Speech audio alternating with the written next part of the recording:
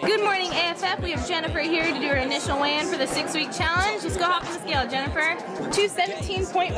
Hi, we're here with Jennifer. She's going to be doing her final weigh-in for this six-week, 20-pound challenge. Let's go ahead and step on the scale. We need to be at 197.1 at least. And you did!